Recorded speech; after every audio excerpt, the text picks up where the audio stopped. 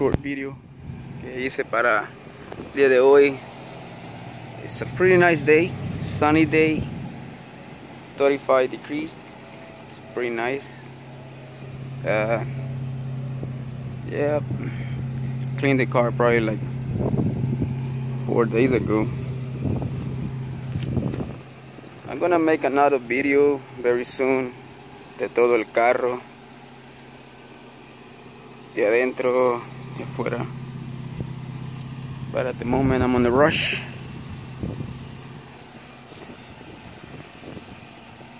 And you can see the car changed colors. This is the last edition 2006 limited edition that they made. So yep. I love this color. It's unique